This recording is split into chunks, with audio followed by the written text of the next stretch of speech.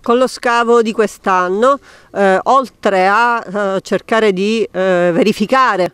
eh, l'estensione del, delle terme e eh, il contesto in cui erano inserite, siamo, eh, abbiamo proseguito verso nord eh, per eh, passare allo scavo dell'intero isolato quarto che era eh, lo scopo essenziale di, del progetto che stiamo restaurando.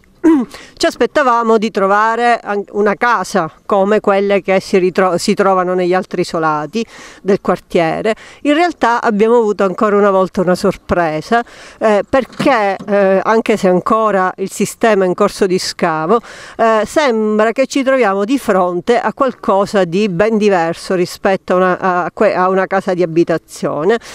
infatti sembra che eh, siamo di fronte a un sistema di vasche in in diversi casi eh, comunicanti tra loro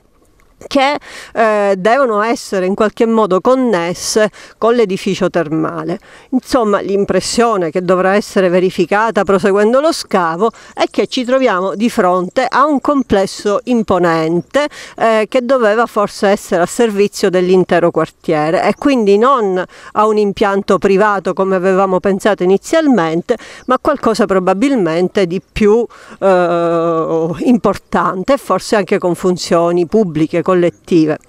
L'altro aspetto interessante che stiamo indagando è quello del momento successivo all'abbandono di tutto questo complesso, eh, quando eh, sm eh, esso smette di funzionare evidentemente come tale, ma viene rioccupato con altre eh, funzioni. In primo luogo abbiamo alcune tombe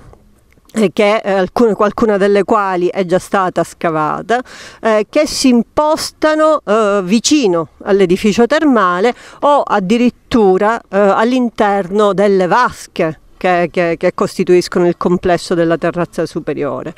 Eh, in secondo luogo, questo l'avevamo visto nel, eh, già nel 2014, abbiamo un uso di tipo rurale, cioè probabilmente in quest'area eh, si impianta una sorta di fattoria eh, nella quale si svolgevano eh, attività proprio connesse con l'uso agricolo. Quindi eh, noi abbiamo trovato moltissime ossa di animali, di grandi animali e quindi sospettiamo che esse siano legate o a attività di macellazione o attività di lavorazione per esempio delle pelli, di trasformazione eh, degli ossi degli animali in oggetti che venivano utilizzati per la vita quotidiana, insomma eh, un impianto artigianale che trasforma completamente evidentemente la funzione dell'area